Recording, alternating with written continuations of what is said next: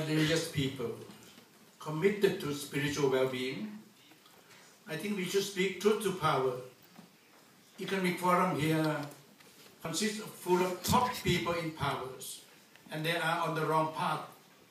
They feel that the improvement of the world, in fact, is improvement among themselves. Destroy the environment, oppressing the poor. I think we should be courageous enough to tell them and ask them to learn to be more humble. Even the scientists also need to be more humble, and they need perhaps to breathe more properly and speak less and think less, and then perhaps we can make our contribution. Thank you. Bye-bye. Um, very short. The Chinese Academy of Sciences a few years ago discussed why did Europe move forward in the last 500 years versus China, which was the most advanced, uh, most advanced society beforehand. And it, they said it was, uh, it was not science, it was not the armies, it was not the weapons, it was the religion.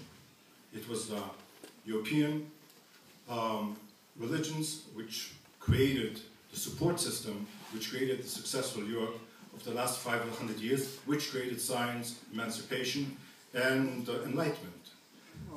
Number two, regarding Israel. Um, in the secular century, the 20th century, a third of our people were killed in Europe, six million.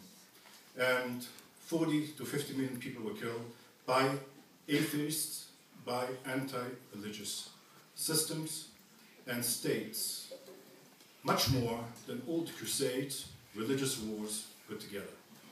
And uh, when our people created the state, three years after the end of the Holocaust, um, we brought in, unlike Switzerland, we brought in refugees from Sudan, from Somalia, and we are open to many other countries, and Israel is doing its maximum as a free society, as the only democracy in the Middle East today. It's the only place where Christians, the Christian community has grown by 400%. In all the other Middle Eastern countries, the percentage, the numbers of Christians is going down from day to day.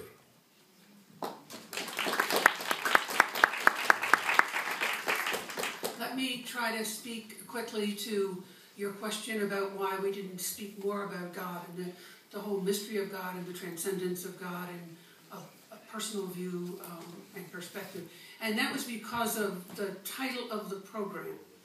And so the program asked us to, to focus on the role of religion as opposed to a concept of God. And that's why you didn't hear more. At least that's, I think, why you didn't hear more from us.